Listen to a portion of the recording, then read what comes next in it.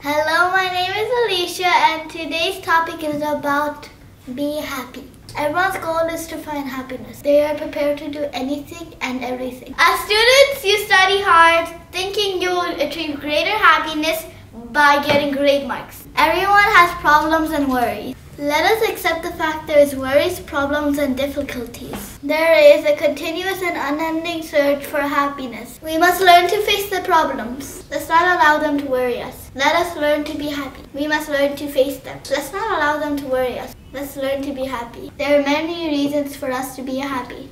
Let us look at the blessings we have. We should keep on counting the good things we have. For more make sure to like and subscribe. Until then, this is Alicia signing out. Good night.